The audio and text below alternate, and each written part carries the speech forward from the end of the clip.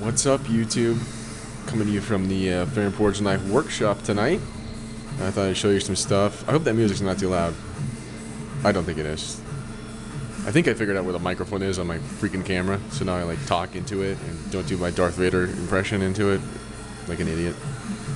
Technology, cameras, jeez, I don't even know.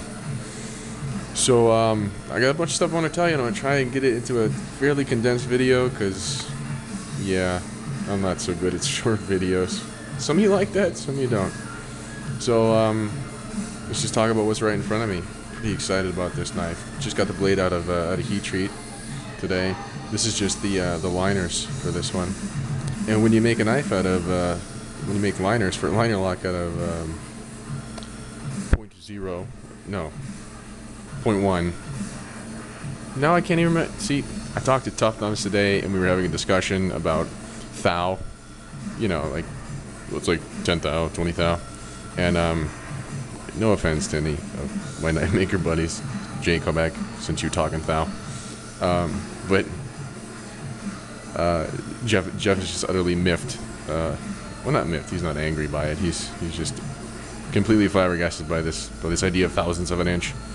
Uh, and I understand. I I didn't uh, I didn't start relying heavily on my calipers um, until I really got heavy into making folders. So, and like there they are. And, like there's another pair over there. They're everywhere now. They're like they. I think they breed in my shop, uh, which is good because I always lose them. Uh, so, to the knife, Elliot. Rambling son of a bitch. God. Sorry. Sorry. Uh, so yeah. So that is a hundred thousandth thick liners. Um, so they, they stand alone as a, as a knife actually, without their skills and stuff on them, which is nice because then I can check all the uh, all the function and the blade centering and everything. And uh, yeah, I like it. Obviously, it's got a bunch of finish work that's going to happen to it, but it's kind of a cool look. Another nice. Uh, it's almost like a sheep foot. Not quite, you know, aggressive to be kind of a worn cliff, but we could call it like a Warney sheep a sheep cliff. I don't know. The distinctions are minimal at best. But uh, yeah, this thing's gonna be sick. So here's the uh, the scales that are going on both sides.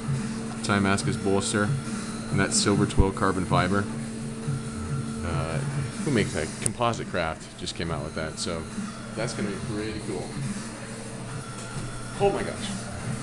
As I'm walking away from the camera talking, and I know you couldn't hear any of that. Awesome. Good work. Good videography.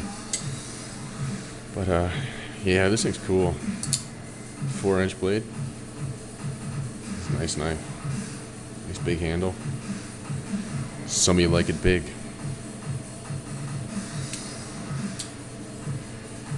So I wanted to just quick, quick preview that because I thought that was really cool. Uh, I'm excited about that knife. It's going to be dead sexy.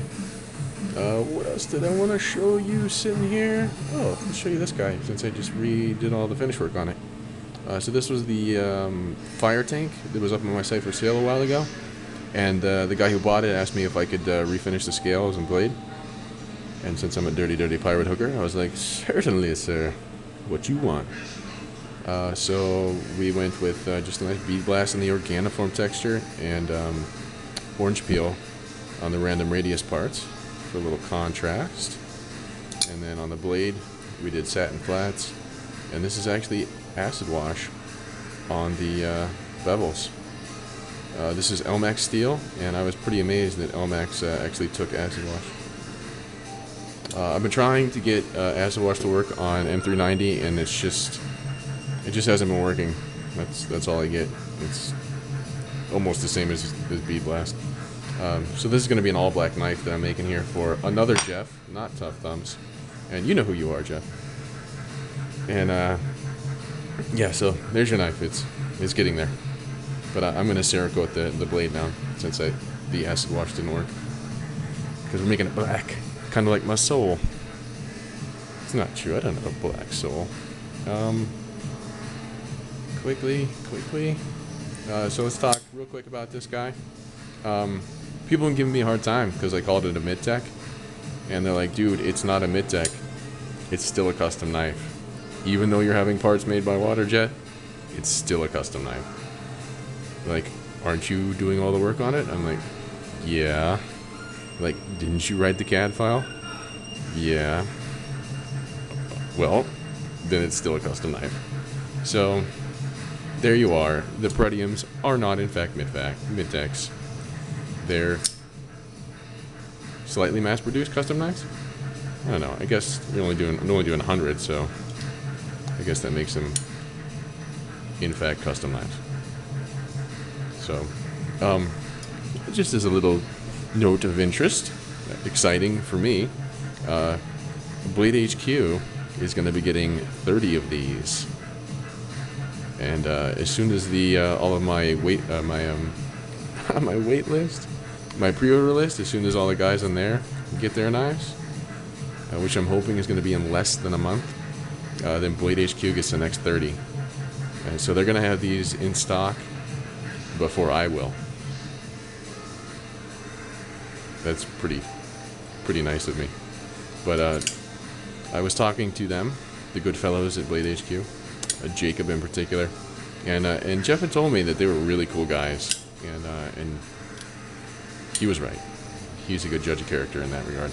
They are very cool, and I'm very excited to uh, to be sending them knives. And speaking of that, I'm probably going to do finish this custom one up. I mean, this is just uh, basically rough, and so I'll finish that up and send that to them as well because they asked. Got any custom stuff laying around? Yeah, I might. I try and fit it in amid my massive list. Yeah, what else did I want to tell you? Oh, ooh, something big and cool is going on with Tough Thumbs. I can't really tell you what it is, but it's it's gonna be really cool. It's very very exciting, and I so hope it happens. And I hope Jeff tells us about it because you guys are gonna, some of you are gonna shit your pants. But anyway, um, yeah, that was about it. Look at that, under 10 minutes. Booyah! But uh, I will see you guys later, and I'm gonna try and do some more videos. I will definitely shoot video of this guy when it's completely finished, because uh, it's gonna be a pretty nice looking knife. Um, and uh, remember, people, if you want want to get it on the Pretium pre-order, you better do it. I mean, it's a, a tiny $50 deposit. I mean, that's it. To get your name on that list. I don't know, they're pretty cool knives. Definitely pretty nice design. If I may say so myself, being the guy who designed it but no, they're. I'm I'm pretty excited about these. I've been carrying this right. So the, we're like on week two of me carrying this, and um, and basically I love everything about it except for that clip. So the clips are going to be different. I don't I don't like them at all. Uh, not to mention these are a pain in the ass to make because I got to mill that all and, and stuff, and it's. Uh, I'm just not loving it. I think I'm to go with kind of a, a stock bent clip. It's to attach a little higher up to be a little more deep carry and be a little easier in and out of the pocket than that guy is. But, uh, yeah. They're gonna be nice knives. And, um, assuming I don't die or go completely insane and, uh, and stop making knives or some crazy shit like that, um, they're gonna be, uh, kind of, kind of collectible. Kinda. Because uh, there's only going a hundred of them ever in existence. And, uh, and I'm, I'm, telling you, I'm never ever gonna make this model again, unless it is as a custom knife, and then it's gonna it's gonna be a real custom knife. It's gonna have all my stuff on it. Uh, another exciting thing we're gonna do about this. So I've been talking to Jeff about it. We've been throwing ideas back and forth. Uh, I am definitely definitely um, gonna send him blank ones of these, so without any milling and stuff on it, just blank Ti, and uh, and Jeff's gonna have his way with them. And you know what that man does. He puts his spunk all over it. No, no, it's disgusting. Maybe. I'm sorry. it's terrible. But yeah, so Jeff and I are definitely tough thumbs. Sorry, and I are definitely going to uh, do a little collaborative effort, which is very cool. I'm very excited about it. And I'm trying to convince that that jerk face to uh, to send me one of his um, tough tanics when he starts getting those made. Because I wanna I wanna take it and do things to it. Not in an aesthetic sense. I want to do stuff to it in a mechanical sense. Because been, I'm trying to convince Jeff to to just try using bearings. Right? He totally has the tools to do it. So I mean, if you are um, if you're sub to him and you watch his videos and you feel comfortable doing it, you should uh, you should tell him, dude, come on, use some bearings. You can do it. You can totally do it. Right? And I will so totally help him. I mean, he can so do bearings. And I, with with the man's designs, I mean, they would be fantastic. Fantastic knives. Not that they're not going to be fantastic knives without bearings in them, but oh, can you imagine? Silky smooth on that tough tannic. Oh, that's going to be a hot knife. Hot knife. That's why I want one. No, but um. So yeah, uh, take care, YouTube, and I will uh, definitely try and shoot some more video, show you all the interesting things I'm doing. And I got other stuff I'm working on too. It's not just one knife at a time here. It's usually more like ten. So uh, take care, YouTube, and I will see you later.